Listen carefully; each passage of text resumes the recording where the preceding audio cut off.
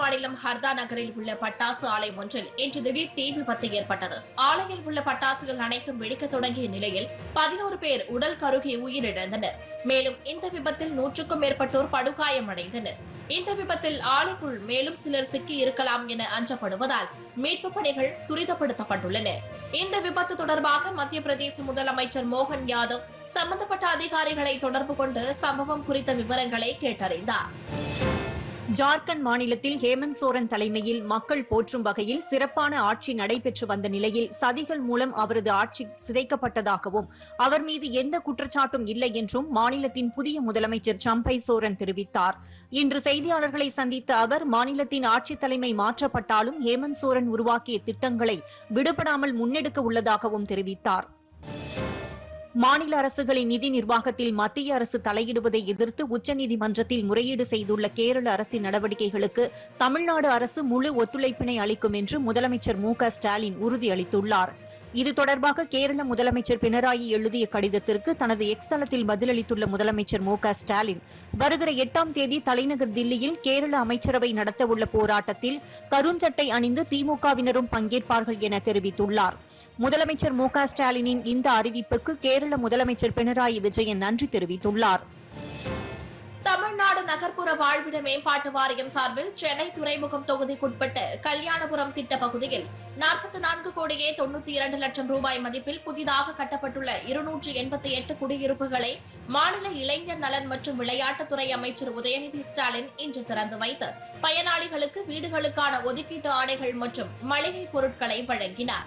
இந்த நிகழ்வில் அமைச்சர்கள் சேகர் பாபு தாமு அன்பரசன் மற்றும் அதிகாரிகள் உள்பட பலர் கலந்து கொண்டனர்.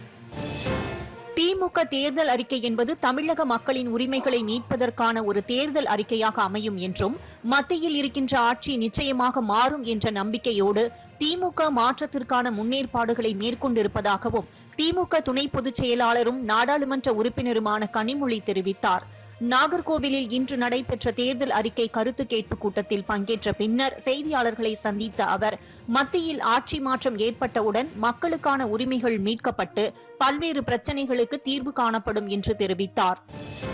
மருத்துவ பணியாளர் தேர்வாணையம் மூலம் தேர்ந்தெடுக்கப்பட்ட ஆயிரத்தி இருபத்தோரு மருத்துவர்களுக்கு பணி நியமன ஆணைகளை மாநில மருத்துவ மற்றும் மக்கள் நல்வாழ்வுத்துறை அமைச்சர் மா. சுப்பிரமணியம் இன்று வழங்கினார். தமிழ்நாடு டாக்டர் எம்ஜிஆர் மருத்துவ பல்கலைக்கழக கூட்டரங்கில் நடைபெற்ற நிகழ்ச்சியில் பங்கேற்று பணி நியமன ஆணைகளை வழங்கிய அவர் பேசுகையில் திமுக அரசு ஆட்சி பொறுப்பேற்ற பிறகு இரண்டாயிரத்து தொள்ளாயிரத்து ஐந்து மருத்துவ பணியாளர் பணியிடங்கள் நிரப்பப்பட்டுள்ளதாகவும் பொது சுகாதாரம் மற்றும் நோய் தடுப்பு மருந்து துறை இயக்குநரகத்தில் காலியாக உள்ள ஆயிரத்து இருநூற்று ஐம்பத்தோரு மருத்துவர் பணியிடங்களை நிரப்புவதற்கான அறிவிப்பு ஒரு வார காலத்திற்குள் வெளியிடப்படும் என்றும் தெரிவித்துள்ளார். தமிழ்நாடு பள்ளிக்கல்வித்துறை சார்பில் தெற்காசிய நாடுகளின் கல்வி மாநாடு சென்னை கோட்டூர்புரத்தில் உள்ள அண்ணா நூற்றாண்டு நூலகத்தில் இன்று நடைபெற்றது. இந்த மாநாட்டை பள்ளிக் கல்வித்துறை அமைச்சர் அன்பில் மகேஷ் பொய்யாமொழி துவக்கி வைத்து பேசுகையில் அரசு பள்ளி என்பது வறுமையின் அடையாளம் அல்ல பெருமையின் அடையாளம் என்றும் தைவானில் மூன்று பேர் இந்தியாவிலிருந்து அரசு மானியத்தில் படிக்கும் நிலையில் அதில் இருவர் தமிழ்நாட்டினை சேர்ந்தவர்கள் என்பது நமக்கு பெருமை என்றும் தெரிவித்தார்.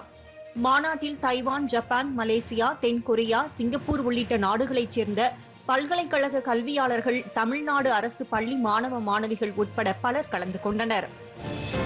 தமிழகத்தில் காலியாக உள்ள துணைவேந்தர் பதவியிடங்களை நிரப்ப நடவடிக்கை எடுக்கப்பட்டு வருவதாக உயர்கல்வித்துறை அமைச்சர் ராஜகண்ணப்பன் தெரிவித்தார். சென்னை தலைமைச் செயலகத்தில் பிற்படுத்தப்பட்டோர் மிகவும் பிற்படுத்தப்பட்டோர் மற்றும் சீர்மரபினர் நலத்துறை சார்பில் பனிரண்டு கோடியே ஐம்பத்து நான்கு லட்சம் ரூபாய் மதிப்பில் புதிதாக கட்டப்பட்ட விடுதி கட்டடங்கள் மற்றும் பள்ளிகளின் உட்கட்டமைப்பு வசதிகளை காணொலி காட்சி வாயிலாக இன்று திறந்து வைத்த அவர். செய்தியாளர்களிடம் கூறுகையில் நாடாளுமன்ற தேர்தல் வருவதை ஒட்டி கல்லூரி செமஸ்டர் தேர்வுகளை முன்கூட்டியே நடத்த திட்டமிடப்பட்டுள்ளதாக தெரிவித்தார்.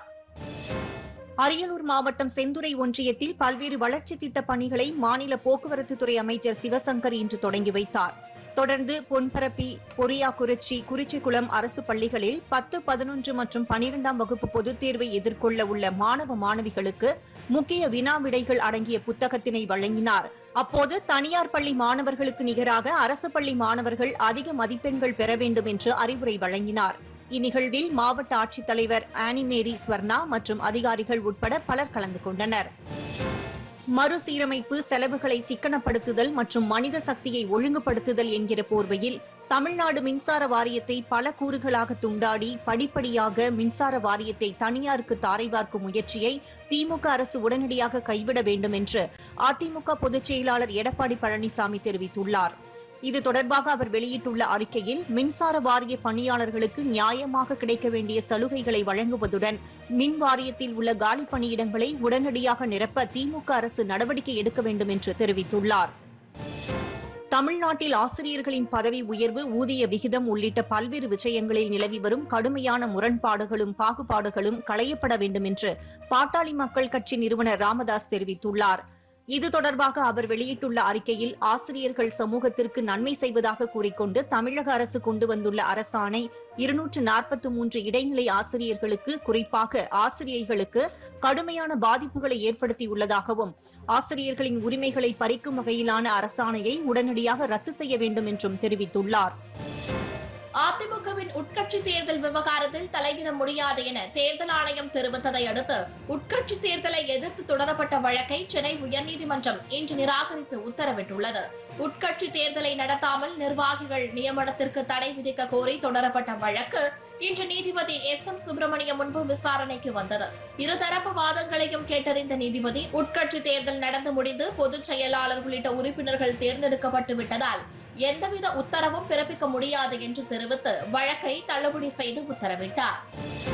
திண்டுக்கல் அரசு மருத்துவக் கல்லூரி மருத்துவமனை மருத்துவர் சுரேஷ் பாபுவிடம் இருபது லட்சம் ரூபாய் லஞ்சம் வாங்கிய வழக்கில் கைது செய்யப்பட்டு சிறையில் உள்ள மதுரை அமலாக்கத்துறை அதிகாரி அங்கி திவாரி தரப்பில் இரண்டாவது முறையாக ஜாமீன் கோரி திண்டுக்கல் தலைமை குற்றவியல் நடுவர் நீதிமன்றத்தில் மனு தாக்கல் செய்யப்பட்டது. இந்த வழக்கு இன்று விசாரணைக்கு வந்த நிலையில் இந்த மனுவை நீதிபதி தள்ளுபடி செய்து உத்தரவிட்டார். அதைத் தொடர்ந்து அங்கி திவாரிக்கு நான்காவது முறையாக காவல் நீட்டிக்கப்பட்டுள்ளது. தமிழக வெற்றிக் கழகம் என்று கட்சி தொடங்கியுள்ள நடிகர் விஜய்க்கு நடிகர் ரஜினிகாந்த் வாழ்த்து தெரிவித்துள்ளார். விஜய் கட்சி தொடங்கியது குறித்து சென்னை விமான நிலையத்தில் நடிகர் ரஜினிகாந்திடம் செய்தியாளர்கள் கேள்வி எழுப்பிய நிலையில் நடிகர் விஜய்க்கு வாழ்த்துக்கள் என்று ஒரு வார்த்தையில் நடிகர் ரஜினிகாந்த் பதிலளித்துச் சென்றார். சென்னை எண்ணூரில் இயங்கி வரும் கோரமண்டல் உர தொழிற்சாலையில் அமோனியா வாயு கசிவு ஏற்பட்ட நிலையில் ஆலையை மூட வலியுறுத்தி கடந்த நாற்பத்தி இரண்டு நாட்களாக மக்கள் போராட்டத்தில் ஈடுபட்டு வருகின்றனர். அதன் தொடர்ச்சியாக இன்று இது தொடர்பான வழக்கு பசுமை தீர்ப்பாயத்தில் விசாரணைக்கு வந்த நிலையில் ஆலையை நிரந்தரமாக மூட வலியுறுத்தி முப்பத்தி மூன்று மீனவ கிராமங்களில் கடை அடைப்பு போராட்டம் நடைபெற்று வருகிறது. மேலும் பத்துக்கும் மேற்பட்ட இடங்களில் மறியல் போராட்டங்களும் நடைபெற்றதால் அங்கு போலீசார் குவிக்கப்பட்டுள்ளனர். திருப்பத்தூர் மாவட்ட காவல்துறையின் சமூக நீதி மற்றும் மனித உரிமைகள் பிரிவு சார்பில் ஒன்றிணைவோம் என்ற தலைப்பில் விழிப்புணர்வு கூட்டம் இன்று நடைபெற்றது. வாணியம்பாடி மகளிர் கல்லூரியில் நடைபெற்ற இக்கூட்டத்தை மாவட்ட ஆட்சித்தலைவர் தர்பகராஜ் தொடங்கி வைத்தார். அப்போது அவர் பேசுகையில் பெண்களை சுற்றி பின்னப்படும் மாய வலையை விட்டு பெண்கள் வெளியே வர வேண்டும் என்றும் மக்கள் அனைவரும் சமூக நல்லிணக்கத்தை கடைபிடிக்க வேண்டும் என்றும் தெரிவித்தார். தொடர்ந்து மாவட்ட காவல் கண்காணிப்பாளர் ஆல்பர்ட் ஜான் தலைமையில் மாணவிகள் சமூக நல்லிணக்க உறுதிமொழி ஏற்றுக்கொண்டனர். அணைகளான கபினி மற்றும் கிருஷ்ணராஜசாகர் அணைகளிலிருந்து காவிரி ஆற்றில் உபரி நீர் வெளியேற்றப்படுவது குறைக்கப்பட்டுள்ளது. இந்த நிலையில் கர்நாடகா தமிழக எல்லைப் பகுதியான பிலிகுண்டுலுவில் நீர்வரத்து படிப்படியாக குறைந்து வருகிறது. நேற்று வரை நீர்வரத்து வினாடிக்கு நானூறு கன அடியாக இருந்த நிலையில் நீர்வரத்து தற்போது சரிந்த வினாடிக்கு முன்னூறு கன அடியாக உள்ளது. கோடை காலம் ஆரம்பிப்பதற்கு முன்பே ஒகேனக்கல் காவிரி ஆற்றில் ஒரு சில பகுதிகளில் தண்ணீர் இல்லாமல் வெறும் பாறைகளாக காட்சியளிக்கின்றன. ஜம்மு காஷ்மீரில் நாளுக்கு நாள் பனிப்பொழிவு அதிகரித்து வருகிறது. இதனால் அங்குள்ள மலைகளையும் குடியிருப்புகளையும் உறைபனி சூழ்ந்துள்ளது. சாலைகள் முழுவதையும் உறைபனி ஆக்கிரமித்துள்ளதால் பல்வேறு பகுதிகளுக்கு போக்குவரத்து துண்டிக்கப்பட்டுள்ளது. நீர்நிலைகளில் உள்ள தண்ணீர் முழுவதும் உறைந்து காணப்படுகின்றன. வாகனங்களின் மீதும் அடர்பனி படர்ந்து எரிபொருளும் உறைந்து விடுவதால் பொதுமக்களின் இயல்பு வாழ்க்கை அடியோடு பாதிக்கப்பட்டுள்ளது.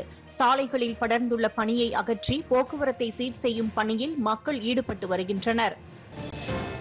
இலங்கையில் போதைப் பொருள் கடத்தல் மற்றும் பிற குற்றச் செயல்களை கட்டுப்படுத்தும் வகையில் நாடு முழுவதும் குற்றச் செயல்களில் ஈடுபட்டதாக சந்தேகிக்கப்படும் ஐம்பத்தாறாயிரம் நபர்களை ஐம்பது நாட்களில் கைது செய்துள்ளதாக இலங்கை அரசின் பாதுகாப்புத்துறை அமைச்சகம் அறிவித்துள்ளது. கைது செய்யப்பட்ட நபர்களிடம் இருந்து இரண்டு புள்ளி மூன்று மில்லியன் டாலர்கள் மதிப்பிலான சொத்துகள் பறிமுதல் செய்யப்பட்டுள்ளதாகவும் இவர்களிடம் இருந்து கைப்பற்றப்பட்ட போதைப் பொருட்களின் சந்தை மதிப்பு சுமார் இருபத்தைந்து மில்லியன் டாலர்கள் எனவும் மதிப்பிடப்பட்டுள்ளது.